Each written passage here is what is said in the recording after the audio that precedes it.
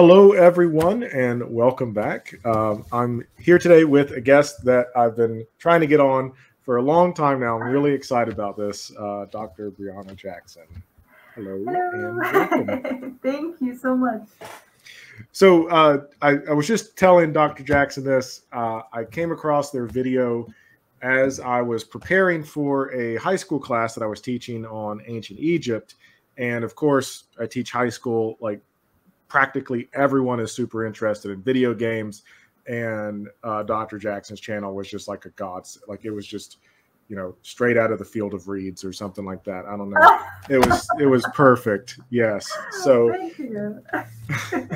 um, i would highly recommend it if you're interested in egyptian history if you're interested in video games whatever. Uh, i'll link the description to the channel and dr jackson welcome. Thank you for thank you for coming on. Thanks. I'm so excited to be here and, and chat. awesome. So, how about you start all start us off with just a uh, general introduction to who you are, who you are as a researcher, your professional slash academic background. All right. uh, that's a, that's a fun story to tell.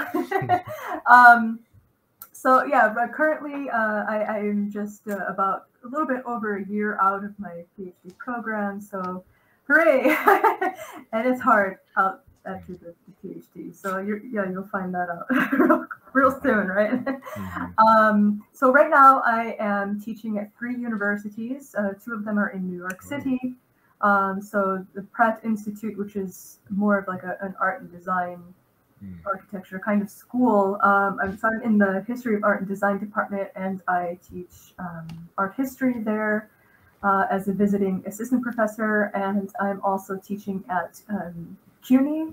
Um, so there are a bunch of different schools within CUNY, which means City University of New York, and so I teach at Baruch College in the history department, where I am an adjunct assistant professor. I have a bunch of titles. They're all different too. And I'm like, wait, which one is this? Um, and there I am teaching Roman history, and I'm hoping that they'll let me teach Egyptian history. Mm-hmm. uh, and then finally, I'm teaching at um, University of Hartford in Hartford, Connecticut, and I'm teaching mm. um, Egyptian art there. Awesome. And so your PhD itself is in Egyptian history. Right? Yes, uh, uh, Egyptian art and archaeology. So I went to an okay. art history school, the Institute of Fine Arts at New York University. So it's it was quite heavy on art history. It wasn't always fun because it was art history that I wasn't particularly interested in. You know, I took a course in uh, French Renaissance art, for instance, and and, and mm. it's like mm, it, it's fine, but where's Egypt? uh, so yeah, I got my PhD in that with a sort of minor, um, unofficial minor in uh, ancient Western Asian art and mm. archaeology. Mm-hmm. Okay. So one of the questions my students wanted me to ask you is they they understand the fascination with Egypt. I think it's Egypt's kind of intrinsically fascinating. Um, but what got you into Egyptian art, like over and against you know general Mesopotamian art or Roman art? Like, what was it about Egyptian art that kind of caught your attention? This this is one of those stories I love to tell. you know, most people, you ask uh, other Egyptologists, so when did you decide you wanted to be an Egyptologist? And they'll say things like, when I was seven years old. Um, for me, I didn't want that. I wanted to be anything else. Uh, I wanted to be a, a ballerina, a farmer. Um, I settled, not settled, I, I, mean, I was really interested in it, um, veterinary medicine. So when I applied to universities, I applied for animal science and biology, and I got into, really? Um, yeah. Wow. I got into the University of Illinois in the in the southern one and in um, Chicago one, and I had a scholarship set up for animal science in Urbana Champaign University of Illinois, but I was I had to pay for my own living expenses, and, and mm. so I couldn't move down there. Um, so just because of circumstances, I ended up in Chicago. So if I had gone to Urbana Champaign, I probably wouldn't be talking to you right now. um, but anyway, so yeah, I wanted to be a veterinarian. Um, and also at the time, I was interested in the French language, and I had taken. French mm. in high school. So when I got into university, I was taking the fourth level French in uh, in, in my first year, and so I thought, oh, this is so great! Now I want to be a French major. and so the whole time that I was there, I was um, taking courses in ancient uh, civilizations. Mostly, it was Greek, ancient Greeks, uh, ancient Greece that they were doing. Hmm. Um, but there was a course that I took about ancient Near Eastern and Egyptian literature and religion, taught by Nanno Marinatos, whose father was very famous. He was the one who discovered Thera. So I feel famous by association. um, and she was uh, she started talking about the concept of Ma'at, which is mm. the ancient Egyptian concept of, of order, uh, justice, truth, and she and i remember the question she asked the class. She said why is nature just? Hmm. and i and i knew it because i used to spend every summer in in my mom's garden just watching nature. And i just remember uh, seeing how everything just kind of fell into place. You know the wasps you, you'd see that you know they would act this way and, and squirrels would act that way. It was just it was really weird. Everything was was interconnected and, and um, uh, and so I just, I, I automatically knew the answer to this question. And I was too shy. I'm not one of those people who participates in class. I'm way too anxious to do this. Um, I'm always worried I'm going to say the wrong thing, um, which is, it's, it's, stupid. Don't ever think that. You know, guys, it, all of you who are watching, speak up. Doesn't yeah. matter if it's wrong or right, do it. Um, or at least try or whatever. Don't be like me. Um, so she was asking other people in the classroom and they were all getting it wrong and then internally i was just like i know i know. Um, so finally she she gave that explanation where you know everything is everything in nature is resigned to its task. Mm. and then she said that the ancient egyptians called this ma'at. And it was that moment that i mm. knew i'm going to be an egyptologist. And i changed my major to classics. They didn't have egyptology. So i just boom changed to classics it was October of 2008. Uh, I was uh, working as a children's librarian at the time, so I was actually quite set up for life. Um, I didn't have to worry about what am I going to do after college. I, I had a full time job already, but I just I got rid of it, changed my major, and I took the biggest risk ever, and just uh, pursued Egyptology. Wow, that's a very interesting journey. Okay, was not expecting that answer. Um, so, we, we kind of talked a little bit about this in the email conversation that we had, but uh, like I said before, one of the things that drew me to your channel was how you utilized video games to talk about um, ancient Egyptian history and ancient history in general. Um, I believe what you call archeo gaming. Mm-hmm. So, and like for me, teaching high school, like video games are ubiquitous. Like they're all over the place. Uh, everyone plays them. Everyone's familiar with them. Uh, but for some reason in academia, there's this reluctance to accept. Like you can major in film studies. You can major in uh, you know art history and you can spend your entire career dedicated to certain portions examining certain types of artwork. But for some reason video games have gotten a lot of pushback. And maybe it's just because they're new historically speaking. What what opened you up or were you always open to exploring video games? Like when did that connection happen? I'm curious. Ah oh man we're about to talk about Myst I remember that. Your fault. Yeah. um, but first, uh, there there is a um, and they're they're very rare, I would admit. Um, but there are video game studies disciplines in mm. some universities, which is really awesome. But yeah, it is something that's very much under the radar. Uh, for for me, I um, well, I used to play computer games when I was in school. We would play the Oregon Trail. Mm-hmm. you remember that in sixth grade? Yep. We spent a lot of time getting typhoid. uh, there was also a game called Super Munchers, which I liked. It was this little mm. monster that would eat words. Yeah, that was, that was good times. um, Sim Farm was my favorite game. Mm. I had a farm going for a couple of years. I had millions of dollars. Yeah, it was great. Mm. Uh, so that was in the 90s. But my, my first I would say real game. Not that the other ones weren't real, but the first really intense game that I encountered was in uh, 1998. The first time I ever played uh, Riven, which was the, it's the sequel to Myst. So the game Myst came out in 1993, and that like it broke the record of, of game sales. It broke the record for a lot of things. It was I think the first game on CD-ROM. Um, and Riven was the sequel, and my brother had gotten it for, for me and my other sisters for Christmas in 1997. It came out in October of 97. So finally, we were allowed to play it in the summer of 98. And I remember walking into our computer room. We called it the den. and um, my sister was playing the game. And, and the first image that I remember was of the, the houses in Riven And it is Mm. just, it's burned in my memory. I have a poster of it in my bedroom.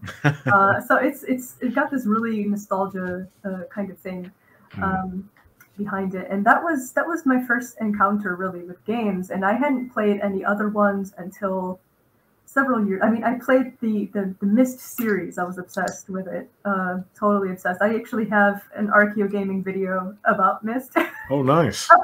Okay. and if you're interested, I could tell you about that. Um, Yeah. but uh, I didn't start playing other games that were non-Myst until 2004 when I played Pharaoh, the city builder Hmm. game, for the first time. Okay. Yeah. I've heard of it. I've never actually played it. Oh, it's fantastic! They're doing a remaster right now, which will be coming out soon. Um, so Is it like a Sim City esque yeah, type yeah. game? Yeah. Okay. hmm and and that's actually the focus. Uh, my my focus on uh, Archeo gaming studies, because uh, I mean, I guess I, I don't know if you want me to jump into that right now. For sure. Yeah. Okay. Um, well, in 2014 is when I first got the idea independently. And, and when you talk to anyone who's in Archeo gaming right now, they will tell you, oh, I came to this idea independently. And slowly but surely, I found somebody else who was interested in this. I'm like, oh, you do this too? Oh, I do it too. But this is something you had to do, you know, in clo- behind closed doors because Right, in, in right. academia they were like, "Oh my god, you play video games!" Like it was, especially in, in my art history school. I don't mind calling them out for being total snobs. Um, they, they looked down on anyone who would play video games, like you're some kind of a loser or something. You know, there was still that that stigma. You know, the stigma that's attached to this, which is terrible. It's it, no, it's, it's completely untrue that that old world uh, stigma on video gamers. Um, and so in 2014, uh, this was already 10 years of me playing Pharaoh, and Mm. by now, now that it's past 2008, when I decided to be an Egyptologist, I started to see how this could be useful in uh, teaching about the development of the state, urbanization, and power Mm. systems. And so I wanted so badly to to make a class teaching students about this through the game, but this wasn't a thing until Right. like a couple of years ago. Um, so finally, I have this opportunity now to, to do that. And, and I actually just got accepted to the ASOR conference where I'm going to be speaking on this topic Awesome. uh, in, in the late autumn. So, Very cool. Very exciting. yes. No, that's great. So, um, what is your what is your philosophical approach to archeo gaming? Like, what do you think? I, I do kind of want to talk about like, especially because of your art history background, uh, maybe like video games as a form of art itself. Um, but like, what is it about video games that is useful in explaining or understanding the past? It really does depend on the game because there are some out there that, ugh, they're kind of, you know, they go in the, the stereotype route and you don't, you Mm. can't, you can't, I mean, you can use that to teach what isn't true about antiquity. like if you, Right. if you're playing a, a Lara Croft game, you can say, well, Mm. we don't go around wearing these booty shorts because you're gonna get sand or or mud everywhere. You don't you, Mm. you, you want to avoid getting it into places you don't want it to go. It's gonna find its way there anyway. I, I can attest to this. Um, yeah, even with with with mummy dust, that one one season I was dealing with a lot of like mummy parts. God, that sounds so awful, and I feel bad saying that. Really? But- Um, just I, I hate the term mummy. Um, it, it, just felt so. It feels so objectifying of the the people. Um, so mm. the, the mummified remains. Um, we had um, a bunch of these that we had to to package because um, they were just lying around in baskets, which is awful. Uh, and so I just got covered in mummy dust. We're calling it. So it's basically like uh, linen bandages and, and not necessarily human skin or anything like that, but it got everywhere. I was wearing a mask, it got inside my mouth. It, yeah, just Oof. nightmare. That's why, yeah, a, Lara Croft wearing what she's wearing, I don't think so. Not gonna happen. Hmm. But you got to worry about, you know, getting sunburnt and everything. um, but it, it also depends on where you're going. Like if you're in in Egypt, it would be inappropriate culturally to wear something like that. Mm-hmm. Um, so, I mean, you can use it to teach what isn't true about antiquity, but then there are games that, that do very well because they, they might um, consult experts mm. to, to maybe review something or just to, to give their opinion on something. Um, and so they usually, people like this, uh, developers like this, will actually try to create something that you can learn from. Uh, I did uh, an interview with several indie developers and, and I asked them a series of questions about you know how do you feel about scholars using your games as learning tools? And they you know said well that's awesome. Uh, that's that's not our original original intention but they did the ones that I interviewed um, did want to convey a, a reality in the games um, so yeah you have to kind of pick and choose and, and really test which which games you're playing and seeing and, and see what what um, what kind of stuff they, they've got in there. Uh, so, for instance, there's a city builder game, Nebuchadnezzar. I'm not sure if, if it's it's very new. It's a, an indie an indie uh, developer, um, and they do something really extraordinary that I haven't seen in a game before. They have uh, every single mission. They have a history of the archaeology of this particular site. So it's a city builder. What it does is it goes through the history of Mesopotamia. Mm-hmm. Um, and so each mission that you advance to, it's a new city. And so you develop, uh, you know, a new type of agriculture or something like this. And so they, they name these um, missions after time periods mm. that um, scholars assign to various stages of Mesopotamian history. So they include in this not just the history of the site itself, but the the history of the archaeology of the site, which is never oh, something wow. Seen in a game before. I thought that was yeah. absolutely brilliant. And so you can actually use that as, as an educational tool, and, and you know it, it's. Um, I have also worked with Save Ancient Studies Alliance, which is a, an organization that, that popped up a few years ago. Um, and they have grown a lot since uh, a few years ago and they have this um, this series of archeo gaming modules that they received a grant for and so what they mm. what they do is they create a, a, a video using games to explore certain aspects of ancient uh, cultures and they they send this to middle schools for mm. teachers to use in the classroom to help um, teach whatever topic it's, it's on about. And so, so I helped with one of those on urbanization. um, so yeah, it, it's it's really fascinating being able to use some, maybe even a lot of aspects of games. Uh, Assassin's Creed does a really good yeah. job of incorporating history. So uh, you'll see a lot of scholars currently using that, even ones that have never even touched a game before, and other gamers okay, I'm a bit of a snob about it. kind of bitter. you have every right to be. Yeah.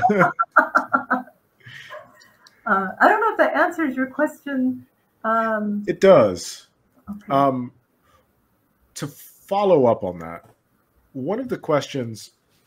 So I utilize um, video games and pop culture a lot in the classes that I teach to I, I, get to develop my own classes and so I'll use it to to model a class after.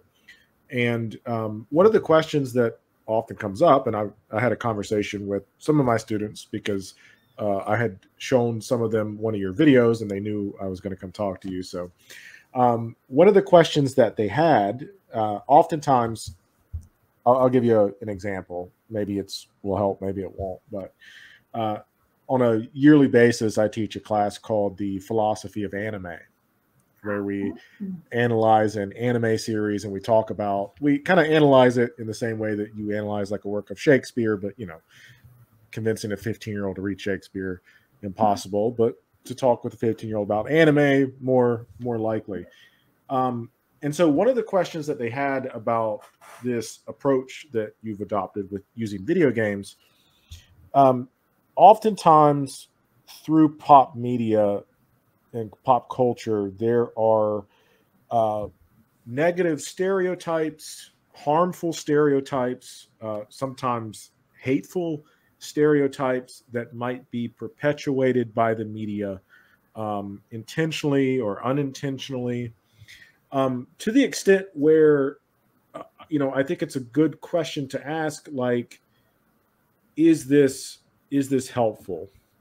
So like with anime there are anime has a tendency to give very demeaning stereotypes of women for example. So that's a that's a oftentimes a conversation that we have so with video games their question was like i mean they get it. They they love video games. They play video games constantly. But could this be harmful to the academic study of the past in the sense that uh, are these video games kind of perpetuating certain ideas, stereotypes, prejudices that might take more effort for you to undo, if that makes sense? Yeah, absolutely. And this is uh, something that, that has come up in, there was a conference about, or at least a, a lecture or something like this, a panel, there we go, that's the word I'm looking for, about stereotypes in, in video games, uh, stereotypes of antiquity in video games. Um, I can't remember any specific examples of that, but I have my own specific example. Yeah. Um, I don't mind calling out the game Pharaonic. When I saw this game, it's a, it's a two-dimensional slider uh, I'm not really sure what the technical term is, but it's I think that's it's something to that effect where you're just moving to the sides. Um, I think I've played that game. Oh yeah. I think so. Okay. It's an indie looked, game. Yes. Okay. It looked really good to me when I when I saw it. I was like, "Oh, this looks cool." And when I when I opened it for the first time, the loading screen looked great. The um, the opening montage was really awesome because they were talking about the king Ahmose, and I knew that they were, you know, playing around with that and modifying that to make their own story, and I was okay with it for a while. And then we get to the building of the character that you play. At, you start off as a um, uh, in most games, you start off as somebody with a lot of agency, maybe even a ruler or somebody with a lot of power. But in this game, you start off kind of like you do in Skyrim, where, where you're a prisoner or something like this. Yeah.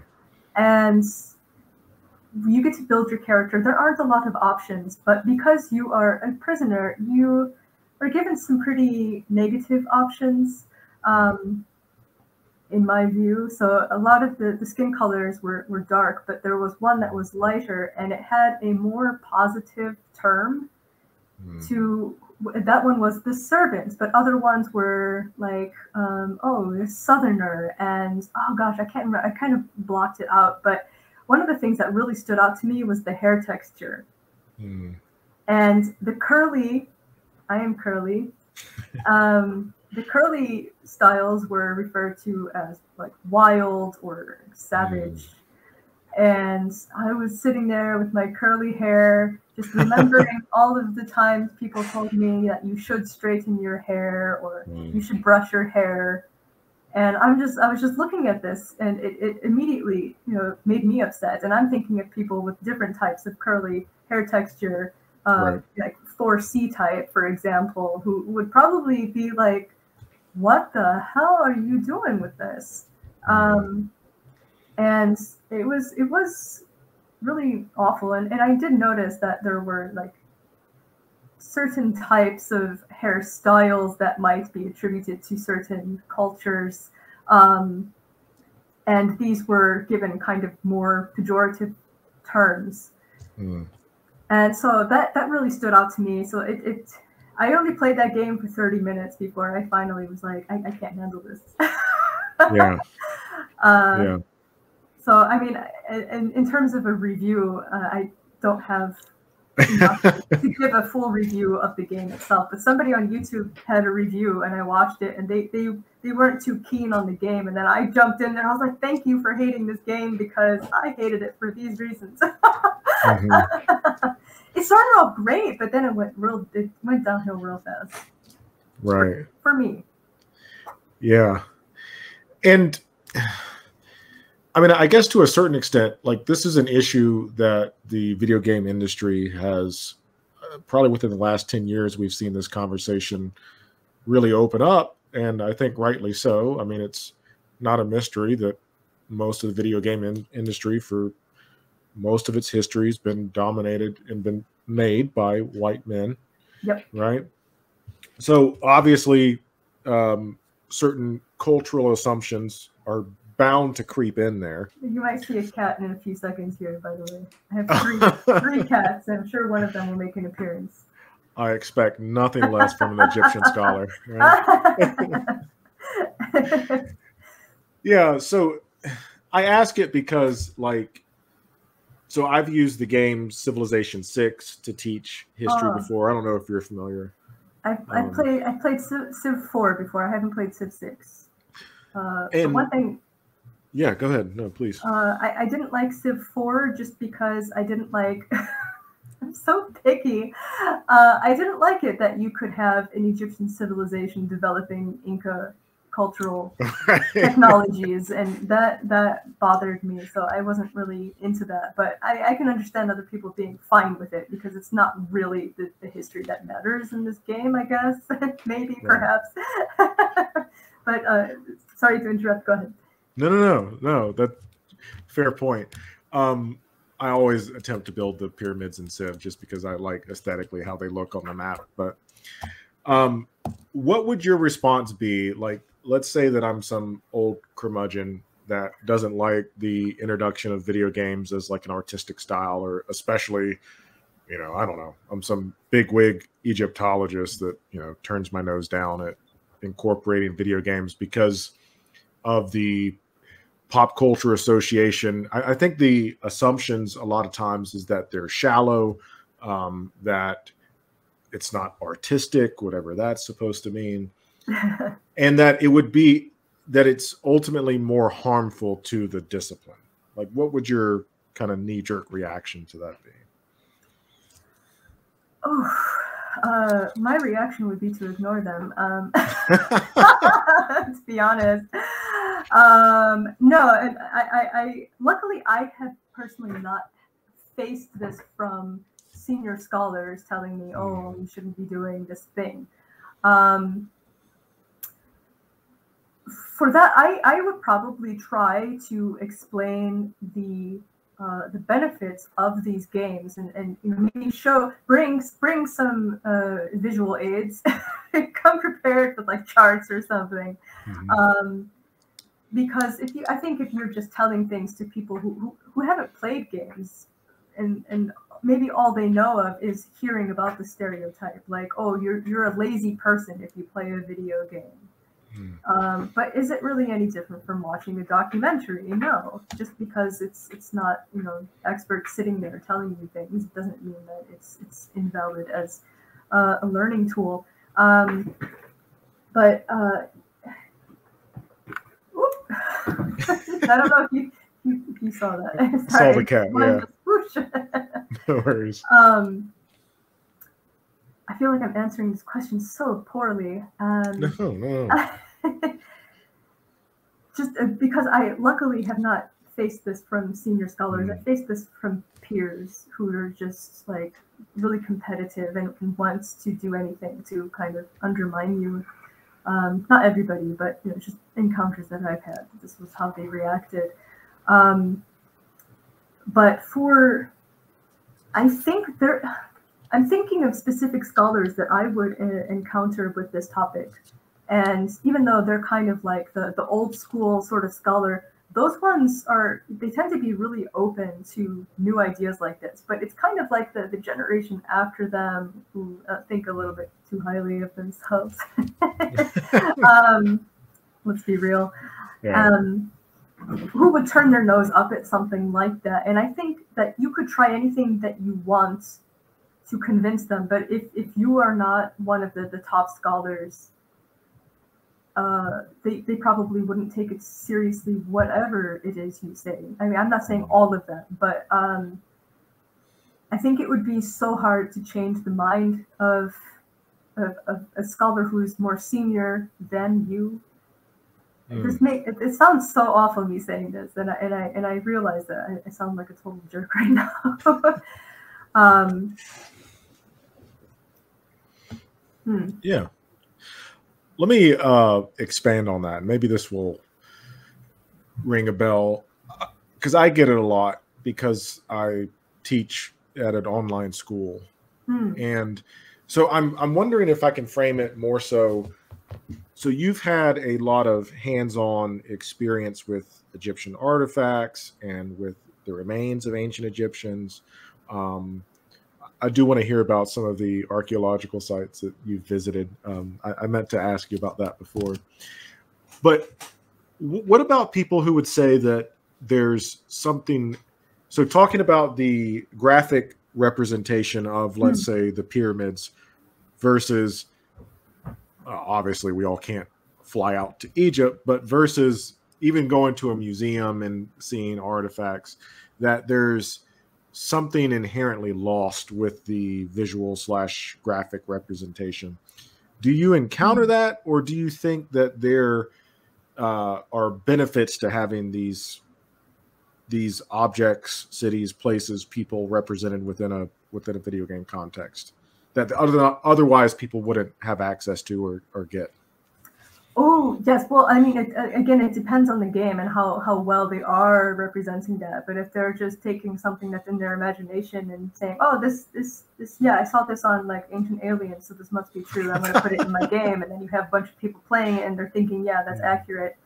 I've had people on the subway come up to me, they see me reading a book about ancient Egypt, and they decide to. This one guy told me how a, uh, someone someone with a PhD. He didn't remember who or what they had their PhD in, but they told him that the pyramids were basically musical instruments, and I was like, no, they're they're not. I didn't say anything. I just smiled and nodded. Oh, okay, yeah, sure. he was he was so enthusiastic. I don't want to kill the enthusiasm, but you know, right. I'm just thinking, who who who's doing this and where is this coming from and i know that there was an episode of the original star trek where uh, an obelisk was a musical instrument I don't know if you're familiar with that, but if anybody out there is, there you go. maybe that's where it came from. Um, but there are, you're right, there, there are some preconceptions, and I think this mostly comes from TV rather than games. Mm. Uh, because that is open to a wider audience since more people would watch TV than they than they play games. Um, with with video games, what I have found is people will ask questions like, is it true that? And then they're more open to having that corrected uh, if, if it needs correcting. Um, oh, bless. I feel like I have examples and, and they're, they're on the tip of my brain, but I can't catch them. Um, so frustrating. um, but yeah, I have I have had people ask specific questions about representation of, of something in a game and it's incorrect, and I say, well, actually, you know the well, actually that term. Mm-hmm. um, and so I, I correct this, and they're totally okay with it, and, and they're happy to move forward from there. Yeah, no, that's fine. Representation of people. Do you mean like how Egyptians? I mean, this is a seems like a hot button hot button topic. I, I, I get a lot from my students about how ancient Egyptians are represented, whether it's in video games or movies. Would you like to yeah. enlighten us a little bit there? Oh man, and I think this this would this would be a nice segue into Moon Knight, which I have yeah. to say, hooray! um, but yeah, if you think of movies like Gods of Egypt, I think that was the title, or Exodus, and they hire you know white people to play these roles. And why when you have a whole bunch of actual egyptian actors who can fill these positions right? Uh, and then you have like the movie night at the museum where they do have an egyptian man playing a pharaoh.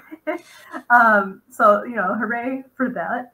Um, and in video games, I think a lot of it has to do with the way women are portrayed because mm-hmm. uh, the the I know that there were a lot of there was a lot of pushback about Kassandra in Assassin's Creed Odyssey. Um, and there was a lot of pushback about Aya in Assassin's Creed Origins because she was originally going to be the protagonist, like the main character, as far as I heard. But people people yeah. didn't didn't like this, and so now we have Bayek, which I'm not complaining about either. You know, um, if, if I could segue into Moon Knight, by all means. It helps that they had an Egyptian director mm-hmm. who had an Egyptian musician compose the music. We had an Egyptian actress. Uh, I believe she's she's half Egyptian, half Lebanese, or where, where is she from? I can't remember. Um, sure. And and also she she has curly hair, which in Egypt is is a thing. Um, just like in the U.S., like you know, there there's some stigma with with curly hair in Egypt as well. So that was a huge deal for Egyptian women, seeing an Egyptian woman as a superhero right. with curly hair. um, so that was that was pretty major, uh, and they showed um, some really cool uh, cultural um, very unique cultural things uh, in Egypt, like the stick dancing on on horses. There was that mm. in one of the scenes. Uh, in the background, there was um, there there were people speaking Arabic. um, there was that rooftop fight scene with Egyptian actors wearing Egyptian fashions, like the like the, the clothes that are really popular among the young people, uh, and the hairstyles. That was very recognizable to me and I was like, "Oh, this is so great!" You know, we, are like, we're really capturing real stuff here. I don't think it was filmed in Egypt, but they, they did a really good job um, trying to capture that in a, in a studio setting. Uh, so I applaud them for that, and I know a lot of Egyptians are were very excited about this as well. Awesome. Mm-hmm. So I did want to ask you uh, a few questions about Moon Knight. So most of and slight spoilers. Don't um, if you're watching this and haven't seen Moon Knight, go watch Moon Knight first. Pause and then binge right. and come back. That's right. It's, it's, not that long. Only six um, episodes. so a, a big portion of the plot, of course, and a big portion of Moon Knight's character himself uh, revolves around this idea that uh, he is the avatar of Khonshu, um, and then, of course, we have other Egyptian gods and goddesses in play throughout the series, um, specifically Amet, Amet, Amet, Amet. Amet.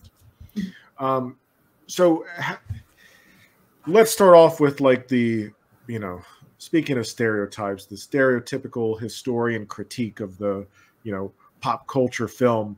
Um, what did you like? What didn't you like? What were some big errors that you saw? Uh, what were some things that you thought they did an excellent job on?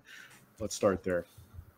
Um, well, I have to say that the, one of the things that I really, really liked was at the very beginning when the, the main character, who's Stephen, uh, mm-hmm. is in the the British Museum and he's correcting everybody about everything. I was laughing at this. I was like, "That's so cute! I love it!" And, and the little plushies, uh, I wanted mm-hmm. one. Uh, and I thought that was really interesting. I thought it was interesting that he was uh, learning hieroglyphs, and I thought it was really interesting that he said hieroglyphs instead of hieroglyphics. I was I was cheering hmm. because that is the word. Hieroglyphic is the uh, adjective. Hieroglyph is the noun. Uh, mm. My my hieroglyphs teacher has like a whole speech that he went through when I first started taking courses with him about this about this term. Um, so it, it was it was really cool seeing those really tiny details. Um, uh, well let's, let's continue with the things that i really liked. Okay. Uh, for for um, moon knight's costume i thought that was so cool because they made it look like mummy wrappings. Mm-hmm. i thought that was so interesting. I liked that a lot. Um, and i also liked Taweret, the hippo she was so great. I loved her. Yeah. Um, oh man, I'm trying to remember everything. And, and as I said, I really liked the um, the integration of modern Egyptian culture. Um, I thought that Layla's costume was so awesome, and she became the superhero. I thought Yeah. that was really great.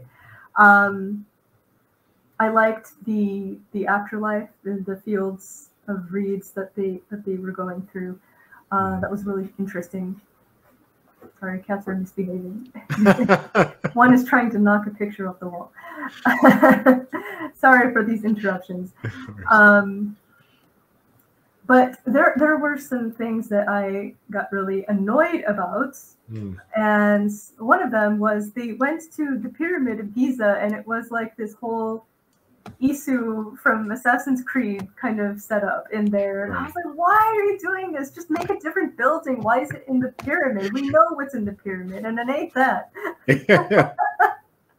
Um, and uh, I was disappointed by Osiris. I was expecting someone who was a lot cooler. and I was telling a friend of mine, a, a fellow Egyptology, classical archaeology friend of mine, that hi- the, the gateway um, in the afterlife for him was more intimidating than the character himself. um, so that was disappointing. Um, oh, one thing that I thought was really cool was how Khonsu, and I'm going to say it the ancient Egyptian way, not Khonshu. Excuse me. um, I really liked how they, um, they they said that when he said that he remembers every night sky. Uh, I thought that was really interesting because there there are Thoth and Khonsu are both moon gods, and uh, there is some text that says that Thoth uh, knows all of the stars in, in every sky. I think that was the text. Um, so I thought that was really interesting that they incorporated that, and I, and I just really liked that scene when he was changing the cosmos. Um, we do have technology that can do that for us. We don't. we don't need to go through all of that stuff, but I, I, I get it. It was it was cool. I mean, it was it was fun to watch. It was totally cool. Um, but um, just uh, and and they they did incorporate uh, a lot of tomb art, um, Mhm. actual tomb art, or or a lot of uh, scenes from the Book of the Dead, especially the Judgment scene. Obviously, that would be what they would be including everywhere in a lot of the the, the tombs or other buildings. Um, they did have an actual image of Amit as she appears in the Book of the Dead because she is a tripartite composite scary creature. She is made up of a crocodile, um, a lion torso, and a hippo uh, hindquarters.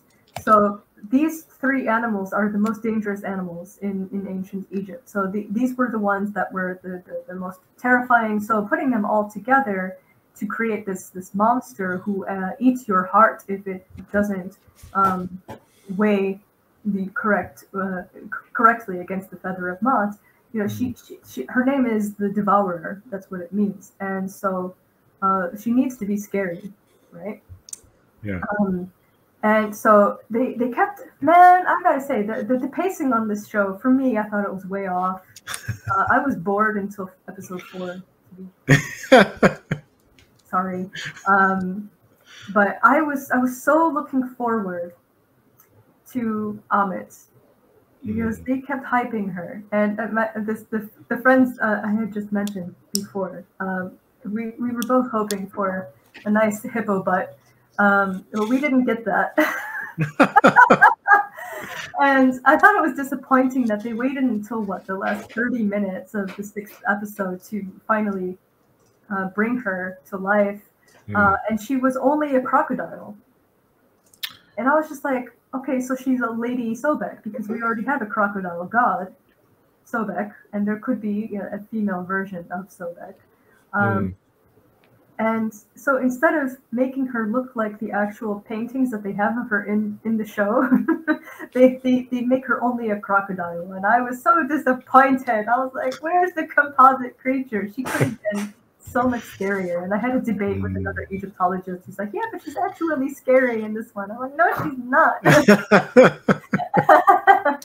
um, I wish that their boss fight was was longer. Maybe she Hmm. should have been introduced at the end of episode five um, as a you know kind of a teaser, and then all of episode six could have been like epic uh, fights and everything like that. I thought it was really cool how they made them really giant.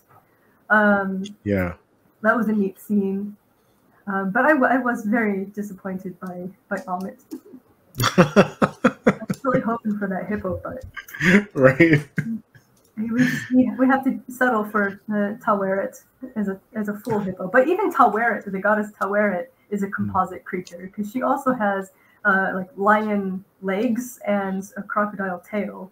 But the rest of Hmm. her is a hippopotamus, and she's supposed to be scary also because she protects against uh, uh, she protects mothers and children against uh, other evils. Um, Hmm. She was cute. I liked her anyway. yeah, she was a lot of fun. So, what did you think about the and I, you know, this might be an impossible question to answer because I know Egyptian religion lasted for a really long time, right? Uh, and the gods and goddesses, their roles kind of change over that time as they do in any religion. Um, that being said, uh, I guess on a high level, what did you think about the representations of the different gods and goddesses? Do you did you feel like they embodied what that god was supposed to represent or that goddess was supposed to represent or do you think you know granted we're talking about a superhero film right getting that out of the way though do you were the mistakes uh large enough to be like significant or for the most part do you think they kind of embodied them correctly Well, you know, the problem with that is they didn't give enough time for the other gods that we saw. We have we have Right. Osiris, but we never see Osiris as Osiris. We just see him as this little guy who who looks like you know he's a banker or something. yeah And um, the the one who plays Hathor, I mean, yeah, she, she was she was very you know beautiful and svelte, and she had the little the little horns.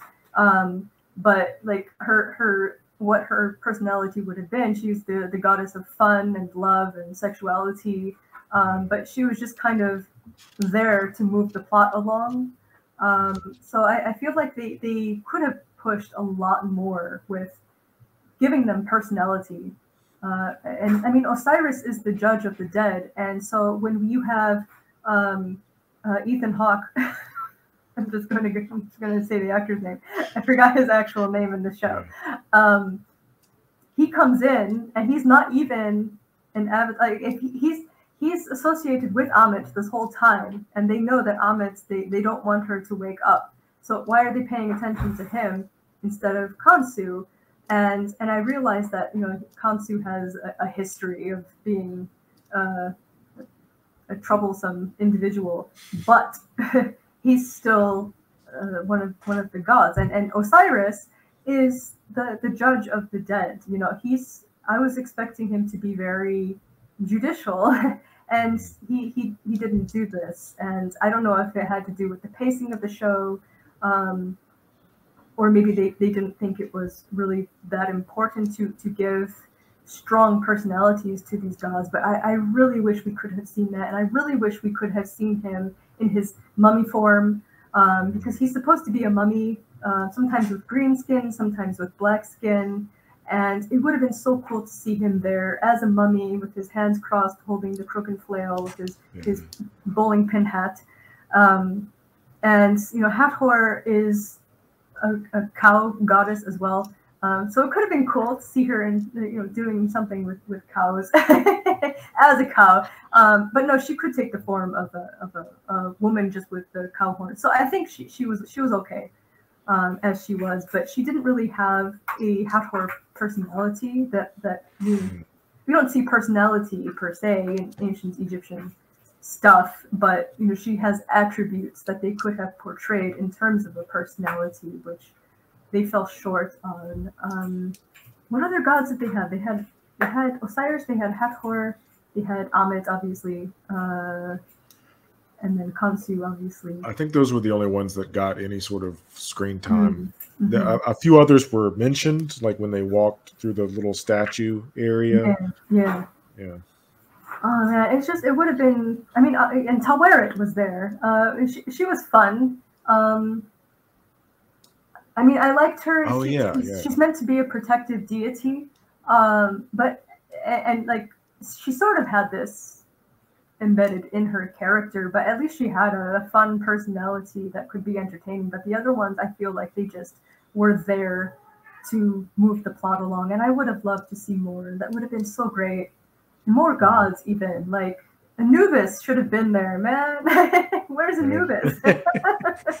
he was actually the one who does the scales anyway. Or we should have had Thoth in his ibis form. That would have been so cool because he's over there mm. taking notes on everything, right? Yeah. Uh, it would have been it would have been really neat to have mm. more gods. Maybe they'll maybe they'll do more. Maybe they'll have another season and, and we'll see more stuff with this. I don't know, but mm. um, I would have liked to see more with yeah. gods.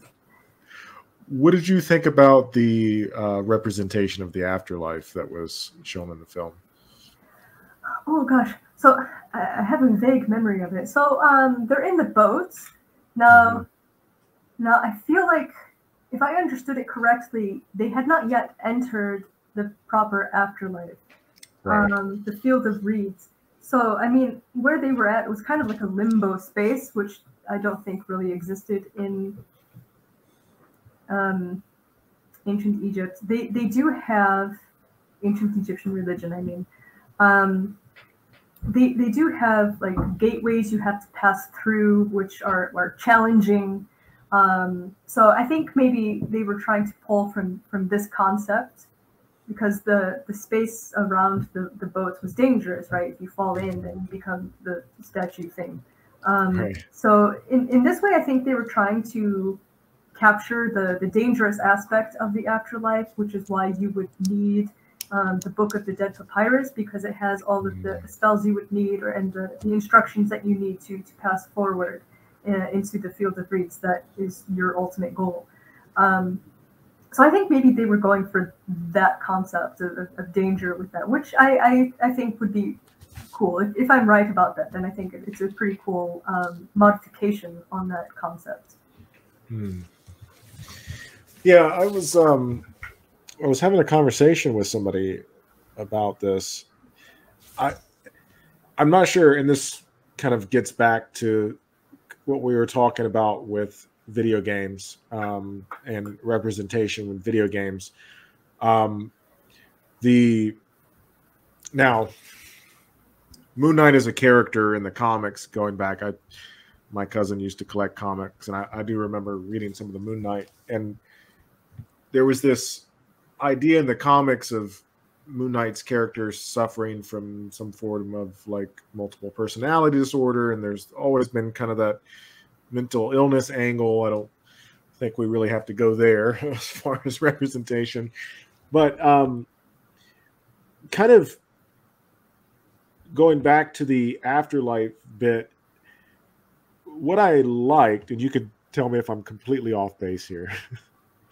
Uh, but I was on somebody's um, YouTube channel recently, and they asked me what afterlife, if if there was an afterlife, what afterlife I would like to, to be real, and I said the ancient Egyptian afterlife because it seems seems so nice.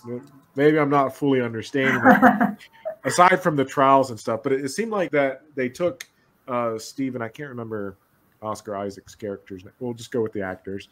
Um, so they they took Oscar Isaac's character, and my understanding of the Egyptian afterlife in the Book of the Dead is that you have these like rituals and spells that are in the book that you're are, are there for you to perform um, after your your soul has left your body in order for this like passage to take place but that you know once these sort of like trials are gone through and overcome and uh, once your heart is weighed assuming that it doesn't get gobbled up by Ammit that um, when you go into the field of reeds, it's supposed to be this like peaceful, tranquil place. Like you can work if you want to, but if you don't, you got the little clay figures yes. that can work for you, right? But you, you chill and you, you grow your food and drink your beer. Is that the gist of it? Yeah, essentially. And, and uh, uh, and then people bring you food even at your at your tomb chapel. So they have uh, three different souls. You have the Ba, which is the one that travels around, and then you have the Ka, which is the life force, and that's the one that uh, that gets to eat all of the food that people bring during the beautiful festival of the valley when everyone has picnics at their family's tomb. And uh, so so yeah, that's pretty much it. That that's that is a, a pretty nice deal for sure. as long as you can get through those gateways, yeah. Mm. Right. So with Oscar's Isaac's character, you know, artistic leeway aside, do you you, th- you feel like that was a fair representation there? Yeah, you know what? You just reminded me what they did.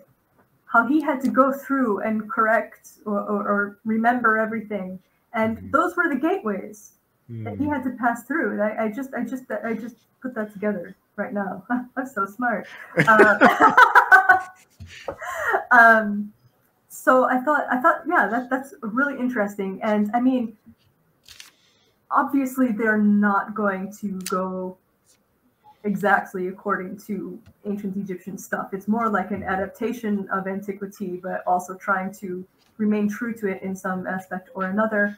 And uh, I think I think they, they handled that well in, as a as an adaptation of an idea. I think that was pretty cool. Awesome. So one of the things I like to close out with is to get some book or documentary or YouTube channel recommendations um, first, tell us maybe what you're reading right now. Um, aside from like journal articles, I get that. Uh, oh. And if somebody was interested in ancient Egyptian history, like what is your go-to recommendation, just off the cusp, off the top of the head? Well, first of all, all I all I read are um, academic things these days. Right. but I when I, whenever I do get a chance to read not that, I, I read children's books. Oh. but for history, you will have to pry out of my dead cold hands Ian Shaw's Oxford in uh, what is this called? The Oxford History of Ancient Egypt. This is oh, my go-to. Uh, and the, this is the paperback. Um, the, his chronology is the only one that I use. Um, there, there's a whole debate, uh, a whole like society of Egyptologists who who just really go at each other's throats about chronology. um, but I, I prefer Ian Shaw. I think this is great. We have it's not just Ian Shaw who wrote it; he edited it. So we have a bunch of different authors, and it goes through the history. I just I just love it. Um, it's definitely not the only history that you can read, but it's the one that I read, and it's the only one I'm going to recommend because it's my favorite. Fair enough. Yeah. um, any podcast or uh, lecture. I don't want to know if I want to recommend lectures. Any uh, Egyptian podcast or kind of popular level stuff? I would recommend uh, Dominic Perry's um, History of Egypt podcast. Hmm. Um, he does a really good job. He also interviews scholars. He interviewed me. Awesome. um, but he, he's really great and um, he's, he's very popular uh, already. And then a YouTube channel is uh, that I would recommend is uh, Religion for Breakfast. Yes. Um, he also is very successful, um, but he he incorporates uh, the work of other scholars as well. Um, so he he invites other scholars to to write scripts for him, and I wrote a couple. I'm not trying to plug myself. I'm just no, by all means, yeah. Um, but yeah, he has a really good channel, um, and he he luckily has uh, been able to travel around Egypt a lot, so he has some firsthand photos and videos that he was able to take and that he can use. Um, so, and, and Digital Hammurabi, of course, big yes. recommendation for Digital Hammurabi. I owe them a lot, really. Um, Shout out. They helped yeah. me a lot, yeah. um, and you interviewed them, so you know. yes. Very um, awesome channel. Hmm. And, and what else? What other topic shall I would you like me to recommend? Um, if and my students also wanted to ask you this uh, they are like super fascinated by the idea of like historical digs and going to archaeological sites um, for the the layperson or you know maybe somebody that's potentially interested in this as a career and or hobby um, yeah what would you recommend archaeology wise like uh, like where to visit where to visit, and let's say that you have like an undergraduate that like really wants to go on a dig. Oh, uh, if you do want to go on a dig, go to the American Institute of Archaeology. They have a whole field school section. So look through there. Um, that is your, your best bet. And they also offer like first time um, um, if, if you're going on a dig for the first time and you're an undergraduate, they'll offer uh, you can apply for um, a scholarship because awesome. they can be expensive. They can be up to like five grand because you're also paying for tuition, you're paying for your flight out there, uh, your room and board. Uh, these are for field schools. Um, but if you're lucky enough and you're in, usually it's when you're in graduate school, um, you can join a dig and you don't have to pay for it because uh, they pay for you and, and you get paid with experience. Hooray! Um, so I, I worked in Abydos, which is in southern Egypt. This was the, the cult site of the god Osiris. Um, my jobs were working in the, the storeroom, so I was um, processing the artifacts that were coming back from the field. I also archived the um, field photography, and also I did this surface collection projects where we were picking up all of this this rubble um, from around one of the temples that was in huge disrepair. So we were trying to make sure that we would collect all of the, the decorated pieces because they were using the non-decorated pieces to mark a pathway for tourists. so,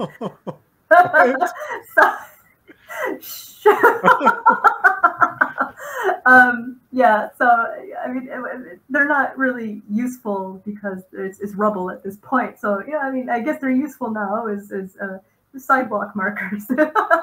um, so I mean, I went there. That's that's the site that I've that I've worked at. Um, so I, I, focus on the Amarna period, which is the reign of Akhenaten, mm. who was hmm. always on TV as the alien guy. He wasn't an yeah. alien, okay? No. Um, so I was so excited to visit Amarna for the first time. And I went there and there's nothing there. because I was expecting to see all of the buildings uncovered. Now it's only the foundations that remain. And I was I was thinking that they were still all uncovered, but no, they've been backfilled. And that's what we do to protect the sites. So we dig them oh. and we record them and then we we um, uh, fill them up with sand again to protect what's mm. left because it's made of mud brick. It can deteriorate very fast. Now there are some buildings that are still uncovered, like the the house of the guy who made the the Nefertiti bust. His house is hmm. open for viewing. Um, one of the, the temples still has columns that you can see, and then one of the, the palaces you can also visit. Um, but for the entire city, it was a huge city and I really wanted to see one of the suburbs, uh, the north suburb, because there was a really cool house where this one stela that was very important for my dissertation mm. was found there. But unfortunately, that is covered over with modern cultivation, and really so can't access the north suburb. Um, oh. uh, we do have the problem of encroachment, which I mean, I don't blame people. Modern day people want to, you know, live somewhere, so I get that. Um, but they are building walls to to stop this encroachment. Um, but yeah, I was expecting to see the whole city, and it was all buried under sand, and it was this really bright white sand. Um, you can visit the rock cut tomb, so that's pretty much what you visit when you're there, which is great. And you can visit Akhenaten's tomb, which is so cool. You you have to drive through the wadi, which is like the the valley that's cut into the cliffs, and it's dead silent in there. It's so it's so cool. It's peaceful. Um, like it's hard to explain. it's so interesting uh, when you when you go through there. Um, and so when I played Assassin's Creed Origins, I did the DLC playthrough with Sasa, which is the organization I mentioned, and I made sure that I never visited Amarna until I played this DLC with with uh, the Sasa organization. And when I entered Akhenaten's afterlife, this is where they had Amarna reconstructed. And I cried when I saw it for the first time. There's a whole Oh wow. Yeah, they clipped it on, on Twitch so you can actually see me like it was it was because I'd never seen it, it, it, alive, right? And this is yeah how I was able to see it in its full glory and experience it so that goes back to you know how, why these That's games right. are important because That's right, some yeah. of these sites you can't actually see because they're buried, but you can see them in this game, mm. and that's a way that you can visit. And so for me, that was very emotional. yeah. Yeah. Which uh, you know, again, speaks to the power of the medium, right? Yep. Absolutely. Mm-hmm. So what? Um. So it, it it's a hundred percent on my bucket list to visit visit Egypt before I die, and I'm Hmm. sure it's on a lot of people's bucket list. It's you know a really popular place. Um, what other sites would you recommend for the tourist that you know maybe has a week in Egypt? Uh, You know, Hmm. pyramids of Giza aside, I, I, that's a must, right? What else? I, I've never visited the Giza pyramids. I've never gone inside them. I went outside them, but never inside because they're hot inside and there are people inside. So I want to avoid that. Um, I highly recommend visiting um, Saqqara and Dashur. And you can visit, they just opened the Bent Pyramid and the Red Pyramid of um, Senwosret. Sorry, not right. Oh, God, what's his name? Uh, uh, Sneferu. Hello, am I an Egyptologist? Um, and it's a full body workout if you're interested in that. Your, your butt will hurt for a week, for sure. Um, it's really cool. And, and so I think with the Giza pyramids, they bring in groups of people, but with these other pyramids, fewer people will visit. And so you can climb up to the very top. They, they, they have these staircases, um, but also they have the original passages that you have to kind of crawl through. Um, and then the, the, the passage to get into the pyramid is it's a, it's a very long passage. It's on a slant and the roof is very low. So you're crouching the whole way and you're going like 70 meters down. Um, Wow. and so by the time you get to the end of that, you're going to have some wobbly legs. um, but then you can climb staircases that they built inside to get to um, a higher level where they, I can't remember which pyramid it was, but there was like this this uh, tunnel that was cut into the limestone. So you crawl through there, and then they erected another staircase, and you can go to the top. So this was at the very very top, of the interior of the. Um, you heard the cat Yeah. knocking over plates.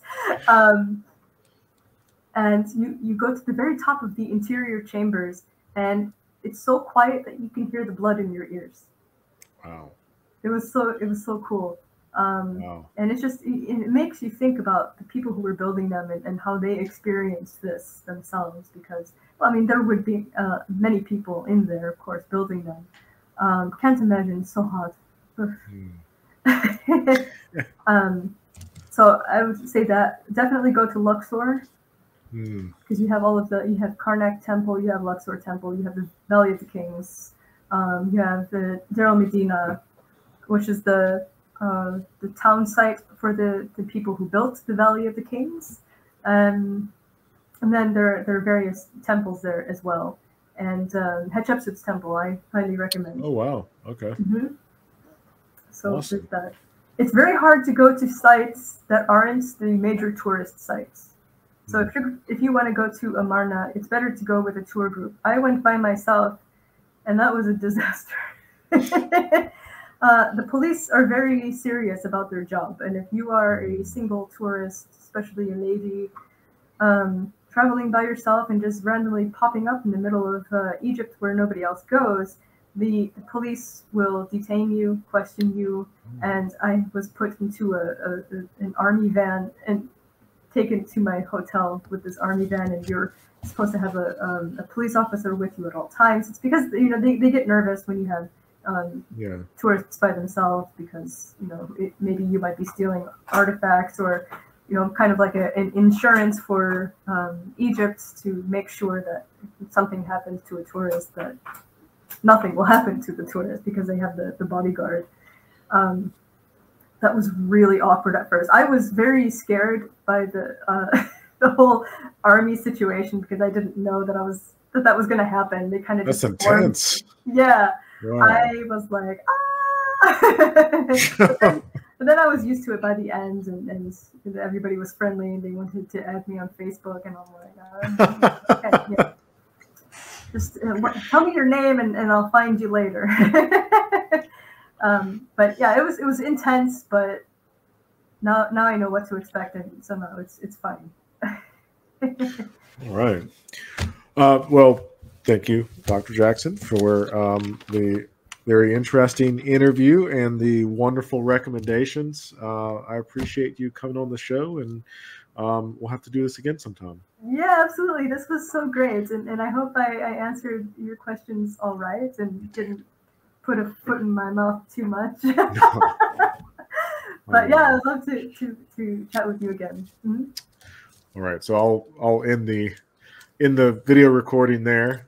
Um, if I can remember, I think I just have to end the stream. Okay. oh yeah. yeah. Well, uh, yeah. Thanks again. Um, I'll send you the uh, the link to the pre-published video before I publish it to get your stamp of approval and um, yeah, Oh, let me means I have to watch myself. Oh man, no. Um, yeah, I'll, I'll cut out the part uh, where I asked you about the ethnicity of the Egyptians if you don't want me to include that. Oh, okay. I think I think I think we, we were fine with that. Um, Okay. It is it is a whole can of worms that that I am not prepared for. Um, but if you are interested in interviewing a scholar on this topic, I would Yeah. recommend contacting Solange Ashby, who specializes in this topic, or um, Vivian Davies. I can send you an email um, with their names as well. That would be awesome. Yeah. Um, so I think I would say that they are the two leading scholars on these topics, on this topic. Um, but it is highly contentious, and Yes. And I don't I don't feel qualified to to go into detail about it. But it is a very relevant topic. Um, yeah. no, I, I, I 100% get it. Yeah, if you don't mind sending me their um, names and or contact information if they're comfortable with that, yeah, that would be awesome. Absolutely, yeah. I, I, I mean, it's up to them to to reply. Um, but I mean, there's nothing wrong with reaching out to them. I don't think. Okay. Well, thanks again.